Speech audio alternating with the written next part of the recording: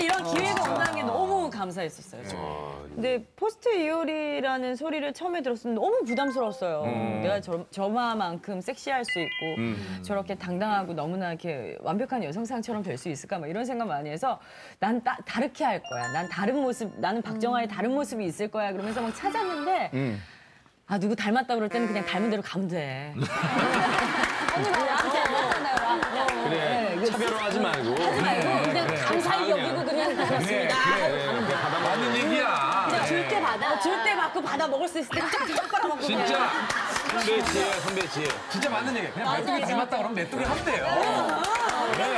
실제로 가는 그래 아니라고 할 필요 없어. 박정아 씨가 근데 좀 그 인생을 배우고 싶으면 걸그룹을 해라 뭐 이런 얘기를 했다고 그래요. 어허. 단체 생활을 할 때 그것도 여자들끼리만 이렇게 뭉쳐 있을 때 오는 심리적인 요인들이 굉장히 많아요. 그래서 단체 생활을 해서 서로의 우애도 느낄 수 있고 싸워보기도 하고 또 화해도 해보고 내가 인기도 제일 많아 보기도 하고 없어 보기도 하고 서로한테 서운한 감정을 가져보기도 하고 세상은 모르는 감정을 그렇게 그냥 그대로 모르게 놔두지 않는 것 같더라고요. 때려보기도 하고 맞아도 보고. 마, 맞아요.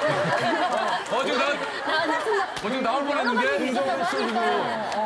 아, 때리고 싶기도 하고 참아보기도 하고 이 정도는 있을 수가 있다. 참아, 참아. 어, 이 정도는 있을 수 있다. 없대요. 맞아본 적 이렇게 만나면 아까 바다 언니도 세 가지 있지만